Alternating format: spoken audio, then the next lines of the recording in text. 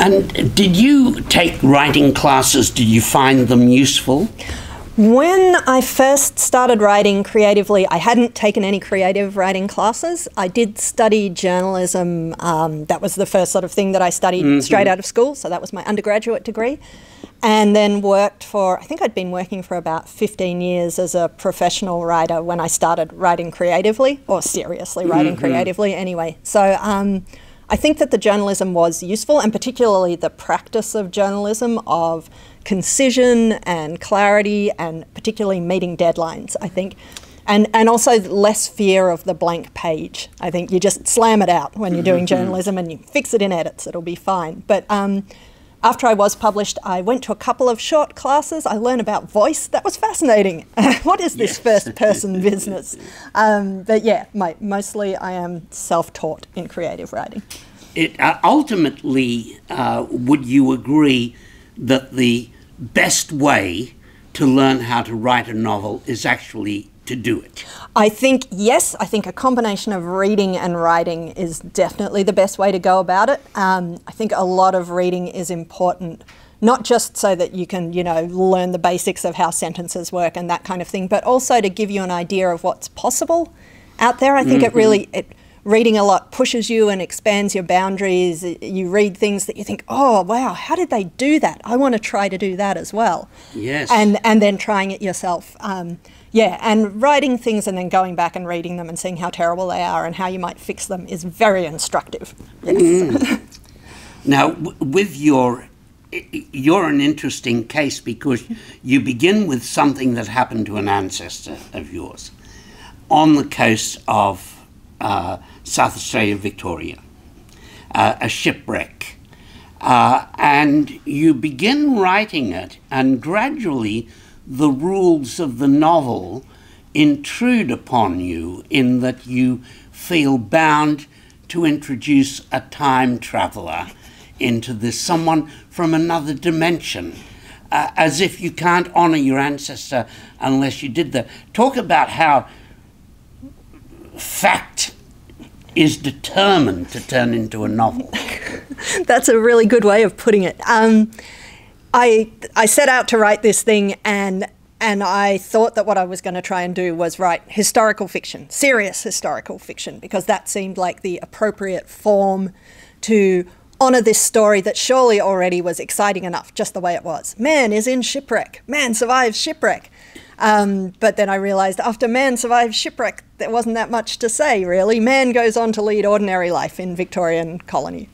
Mm-hmm. The end. Um, so trying to write that story like you say i realized that the there was kind of there was no push in it there was no life in it um, it didn't have anything that grabbed me as a reader let alone as a writer when i was writing it that way and the thing that made it come alive for me was the introduction of something that I personally cared about a lot more than it turned out I cared about my ancestor, which was this idea of other species on Earth who've been forced to the margins of their lives by the way humans have behaved on Earth.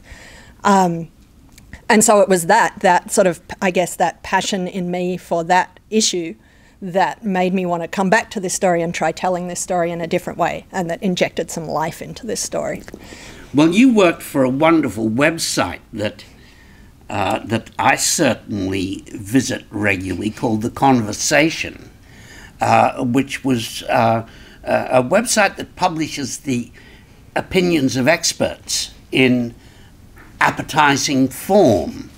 Uh, in, in, I mean, in terms of reading and appetizing, you don't change what they write to make it seem as if climate change isn't happening. Yep.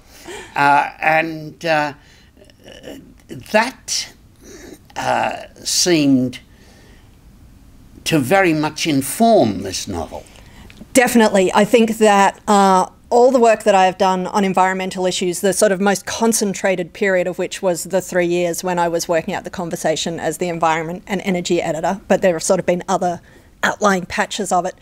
That, that environmental issues, issues to do with climate change, issues to do with species extinction, um, and with the encroachment of human habitat onto other animals' habitat, have been the things that have driven me to write. Um, the, writing is i mean i don't know how it is for you but it's it's kind of a it's a bit of a slog being a writer. Sometimes you know there's not much money in it for most writers. It takes a lot of time. You spend a lot of time alone. You have a lot of self-doubt about whether what you're doing is worth it.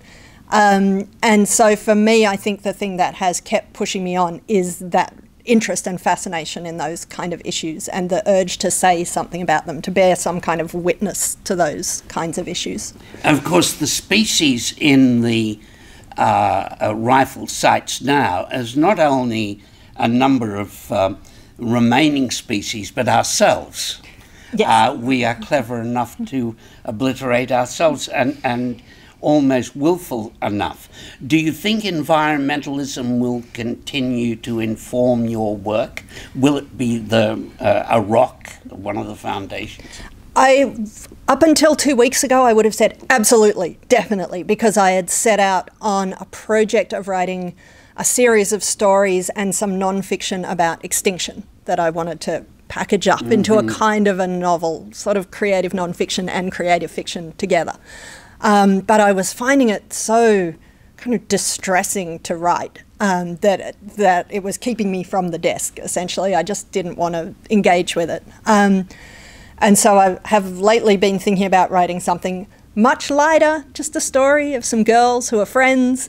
And I feel like I might do that for a little while and then go back to the sort of bleaker material, just get my head above water for a while and have some air. But I say that there's every chance that, like, from the wreck, which was going to be historical fiction about a shipwreck, that this will also turn out to be yes. about environmental disaster in some way or another because it's I'm so obsessed with it.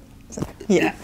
Well, uh, Margaret Atwood swings in, in that way between uh, the two. We, we are in a dilemma now in that uh, the only species we've got to, to celebrate and sing is our own, and we are the greatest ecological catastrophe that's ever hit the earth.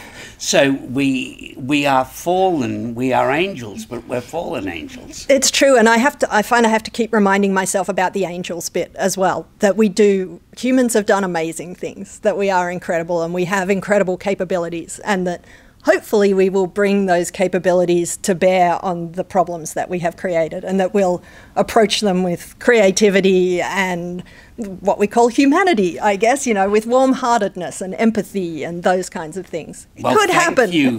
thank you very much. Thank yeah. you very much, Tom.